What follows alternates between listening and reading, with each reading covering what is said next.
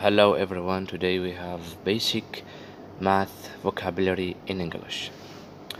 Okay, plus or add. the signs means plus or add. For example, 5 plus 2 equals 7.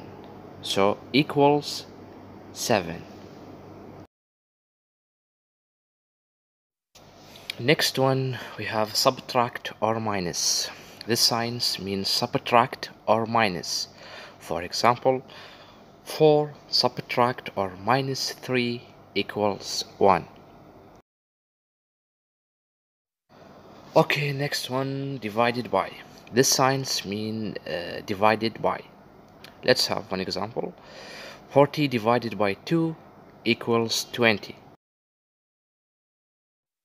Okay, the final one times or multiply. Times or multiply. Example 5 times 5 equals 25. I will repeat again. Equals, plus or add, minus or subtract, divided by, times or multiply. Okay, see you next lesson. Bye.